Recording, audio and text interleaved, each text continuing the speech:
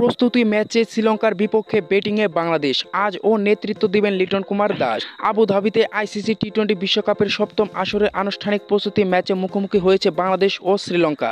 বিশ্বকাপে দু দলেরই এটি প্রথম প্রস্তুতি ম্যাচ। আবুধাবির টলারেন্স ওভাল স্টেডিয়ামে টসে জিতে প্রথমে ব্যাটিংয়ের সিদ্ধান্ত নিয়েছে বাংলাদেশ দল। ওমান এ দলের বিপক্ষে আনুষ্ঠানিক প্রস্তুতি ম্যাচের মতো এ ম্যাচে ও বাংলাদেশের একাদশে নেই মাহমুদুল্লাহ রিয়াদ। পিঠের ব্যথার কারণে দলের নিয়মিত অধিনায়ক রয়েছেন বিশ্রামে।